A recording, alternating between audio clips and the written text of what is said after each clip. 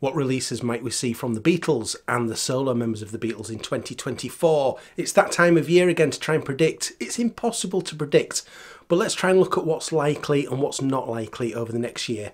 I'm going to look at releases from John, Paul, George, Ringo, and the Beatles here to try and see what we might get. First of all, though, I'm just going to look at a few books that we may or may not get in 2024. The big three hitters uh, in terms of ongoing projects of Beatles books at the moment. First of all, there is the Music is Ideas, Paul McCartney reference books by Luca Parisi. We had volume one this year. It looks uh, likely that we will get volume two towards the back end of 2024, and that's going to cover Paul McCartney's career from 1990 through to the present day. If we don't get it at the end of 2024, should be early 25, but I know that Luca is hoping to have that out in 24. There's also the McCartney Legacy books by Adrian Sinclair and Allan Kozinn. So again, we had the first volume in 2023. Now, we're probably just going to miss 2024 with this. That might just slip into next year. But if we're lucky, we might get that at the back end of this year. But don't hold your breath for that one. The big one, Mark Lewisohn and Tune In, Volume 2. When is that going to happen? Personally, I don't think it looks like it's happening in 2024. That's that's just based on a hunch from uh, how it looks like these things are going. I think 2025 looks to be a lot more promising. I hope in a year's time I'm sat here saying I think this is on its way. Finally, volume two of that amazing book. So they're just uh, some sort of other projects, not official Beatles releases that uh, we may or may not see this year. So let's go to Ringo Starr. We know that Ringo isn't really interested in releasing albums anymore, but he does love to charge album price for an EP. When his fourth EP came out a few months back, it was also said that he has recorded and about to record two more EPs. So we may well get one or more of those this year in 2024. Uh, one of those is said to be a country flavoured uh, EP, so you may well be buying two albums worth of stuff there for a couple of EPs. The other big question with Ringo is, are we finally going to get uh, a 50th anniversary release of the Ringo album? Well, it's already been missed by a year, but so many projects uh, recently seem to have slipped by about a year. Is that an ongoing effect of COVID backlog being caught up still? Maybe, I don't know, but uh, there's still no firm knowledge on, on a Ringo expanded release. But if that's going to happen, it's probably going to be this year, this coming year, or never on that.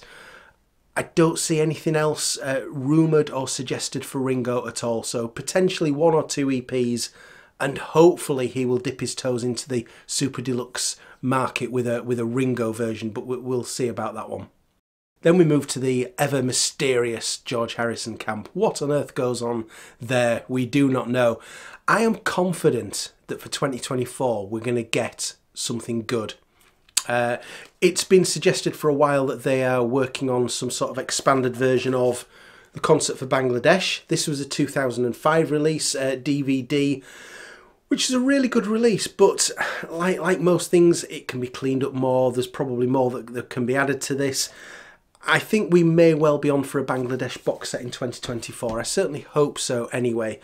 If not, then Living in the Material World, again, has that slipped by a year if we're going to get that? I think now that the the control of George's catalogue is well uh, is well owned by the Dark Horse Records label, uh, obviously Dhani and Olivia are, are in control of that.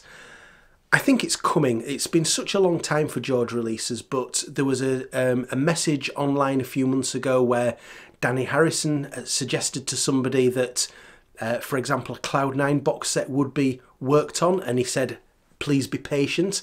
So I think things are coming, uh, and hopefully they're going to start coming more often now, but I think probably Bangladesh might be a, a a hopeful bet for 2023, if not living in the material world. For John Lennon, this is where we've got some confirmed news. 2024 is going to be a good year here. So we know for a fact that Mind Games uh, Ultimate Edition is going to be coming. It looks as though it could be early June 2024. There is going to be, in that Mind Games box, um, it seems almost certain, 72 tracks spread over six CDs, two Blu-rays, and of course there will be a vinyl edition as well. And the Lennon camp did say a few months ago that that would be followed by more surprises later in the year. They've not gone into any detail about what those surprises are. Will it be another Ultimate Edition set? Are they, are they ramping up the, the speed at which they're going through those? That would be fantastic. Um, but if not, we've seen over the last few years that the, the Lennon camp does like to do, for example, um, what you might call boutique niche releases that are either there to uh, help charities or with the case of the uh, the Gimme Some Truth white vinyl box set last year that was deliberately designed as a boost for record shops. Uh, I know for a fact that the, the the Lennon estate didn't particularly make a great deal of money on that at all. It was designed to help record shops have have uh, the margin in their favour.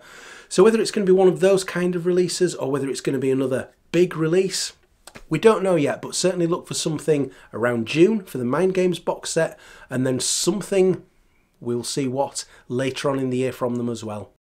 Paul McCartney releases are always the most difficult to predict. Uh, we always get a surprise. Uh, pretty much every year it seems something comes along, whether it's a 7 inch singles box set or the launch of a half speed remaster campaign. Something comes along that takes us by surprise, and I don't expect 2024 to be any different to that. Some of the um, things on the periphery that we may or may not see before I come on to the, the main things with Paul. There's the Man on the Run documentary that MPL are producing, which uh, is going to cover Paul's solo career. It's going to be really in depth. I hope it's going to be something like Wingspan, but in a lot more depth and a lot more detail, is how I see that going. Now, on the IMDb website, it still shows that as being in pre production with very little detail. So, uh, unless they've made an awful lot of progress on that that uh, nobody knows about, I'm not so sure whether that's going to come in 2024. That may well go beyond, but what a great surprise it would be if that did come during the next year.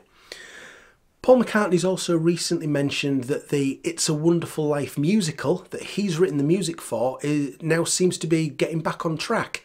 Uh, it was supposed to come out a few years ago. Looks like COVID probably put paid to it, but Paul suggested it's now actually happening. Um, and It's a Wonderful Life musical seems a little strange to me because surely that's Christmas based. Uh, what sort of market does have that have among theatre goers at other times of the year? I don't know. I'm sure people who know more about theatre have, have thought all this through. But could it be that towards the back end of 2024, in time for Christmas, that might be launched and we have a whole load of more of Paul McCartney's music? We will see. What we do have confirmed from Paul McCartney for February the 2nd, 2024 is the Band on the Run half speed remaster vinyl and CD boxes. Uh, with a, an interesting second disc this time. So we know that that's coming. The half speed remaster campaign I think has been superb. I've really loved everyone that they've put out so far and I'm lo really looking forward to hearing Band on the Run given that treatment as well. But of course this time we've got this second disc, the underdubbed mixers as uh, Paul is, is calling them. So on 14th of October 1973, after Paul, Denny and Linda had returned from Lagos, there'd been a little bit of work gone on in London, uh, but then Geoff Emerick was asked to prepare some mixes. Now at this point, there was no orchestration added, there were some lead vocals hadn't even been recorded yet, and there were various overdubs that hadn't been recorded yet. But these mixes that Geoff Emerick put together, these sort of rough mixes, they're going to be released for the first time. You can already hear the title track, Band on the Run, that's available on streaming, it's on Paul's YouTube channel, and I think that's going to be really interesting. I'm really looking forward to hearing that. So I will, of course, be um, showing those uh, uh, beginning of February when they come out, um, both the, the single disc and the second disc as well. Uh, we'll be able to see what those look like, and I'll be bringing a review of that as well. How's the sound quality, most importantly, on those. It also looks like there is a great possibility that we're going to get a new Paul McCartney solo album in 2024 very excited for that if that happens, um, especially if if if it's of this a similar standard to Egypt Station and McCartney 3, I will be absolutely delighted because I've been so happy with those two albums, notwithstanding silly variants that um, I talked about in my last video that, that really annoyed me and, and still rankle a little bit, but putting that aside, a new Paul McCartney album would be fantastic. I will be all over that expect loads of variants of that. Of course, there's going to be loads of variants, but I don't worry too much about that at the time of release. It's like when a new car is released, you know, the, the Ford have made a new car. They're issuing it in black, white, red, blue. Choose your colour. I see it the same with uh, album releases. You don't have to buy every colour, but if you want to, fantastic. Enjoy it very much. That's going to be produced by Andrew Watt, who did the recent Rolling Stones Hackney Diamonds album, and he's had a lot of praise for his production of that album. So I hold out great hopes that it will be a good sounding album. Um, as well as hopefully as hopefully good quality songs as well as I'm I'm sure it would be. I, I don't see Paul putting out an album that he's not happy with just just for the sake of it. If he puts that album out, I imagine he thinks it's good enough to carry his name, so I'll be delighted to see that. And then the big question with Paul McCartney is what the heck else might we get? Well, like I said, there could be all sorts of surprises, but what about the archive collection? What is happening with that? Now, I remember I sat here a year ago uh, doing this uh, sort of equivalent video, and I said, if we don't see any archive collection in 2023, then I'll be concerned about the future of that series and of course nothing's happened this year. So am I concerned about the future of it? Yeah, definitely.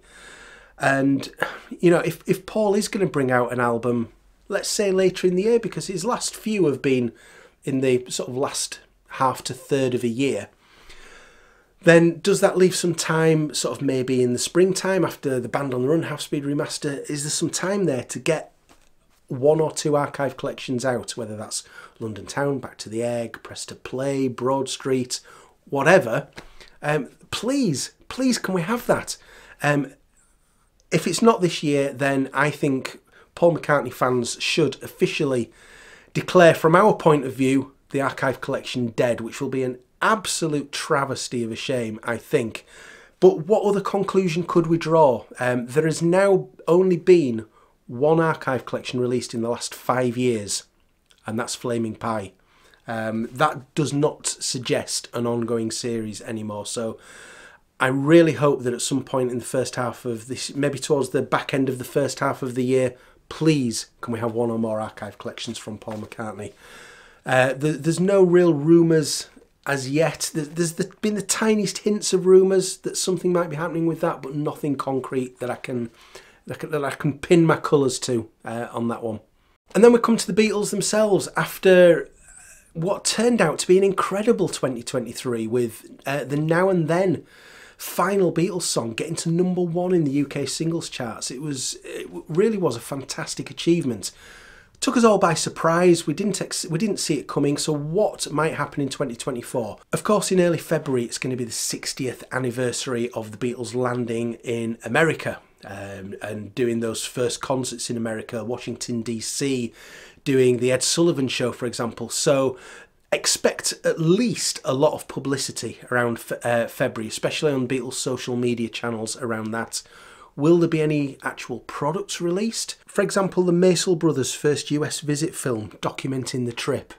Will will they get some kind of official release? Then maybe expect an announcement back end of January, for example for something in February, but it'd be great if that could be marked with some kind of official product from the Beatles. Now, we know that Red and Blue, uh, the Red and Blue re releases were quite a late decision. Uh, Giles Martin's confirmed this. He said that when they knew that Now and Then was coming, they realised that they needed some sort of vehicle for it to be released with. Personally, I'm not so sure. I think Now and Then was capable of standing on its own two feet, but nevertheless, uh, they realised as well it was the 50th anniversary of Red and Blue albums, so let's let's reissue those. Giles Martin did those um, mainly great new remixes uh, for the, for that album release. Some of them were um, a, a, little confusing, but mainly I think great remixes. But that was a last minute decision. Hopefully, now that that's done, that may well have pushed Rubber Soul back a year. Hopefully, now they can A, get back on track with what they would have done had there not been now and then, and that forcing the need for red and blue. So expect probably to see Rubber Soul this year, a box set like we've had for, for example, Revolver being the last one and, and, and the other later albums. Hopefully that's coming this year. And I think the other thing that Red and Blue has surely done, well, especially the Red album, has surely shown the Beatles camp um, and George uh, and Giles Martin that great remixes of those early Beatles songs using the MAL technology from Peter Jackson is possible for the Beatles uh, catalogue going right back to the beginning.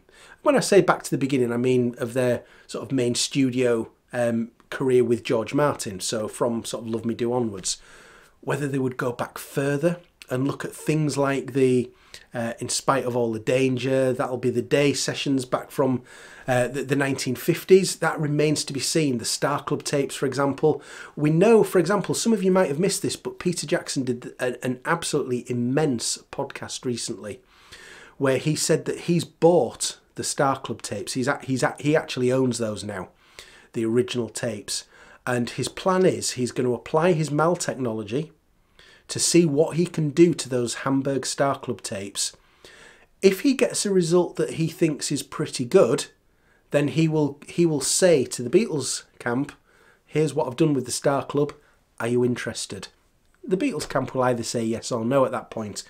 But Peter Jackson has bought those tapes, the original tapes, and he's working on them to see what he can do. That will be so exciting. I don't think I expect anything in 2024 for that might be a little bit soon but certainly let's get back on track with rubber soul then we can go confidently back to the please please me era over the next few years knowing uh, that Giles Martin is capable of, of, capable of doing very good remixes on those early songs he is. I'm, I firmly believe that. I know some people don't agree, but I think what he's done on those early remixes is generally superb.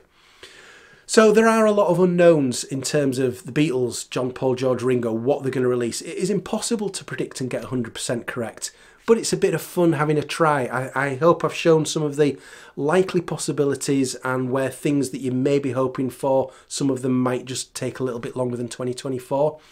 Uh, so what are you hoping for this year? Let me know down in the comments. And if you want to see how well or badly I did a year ago predicting 2023, have a look at this video here.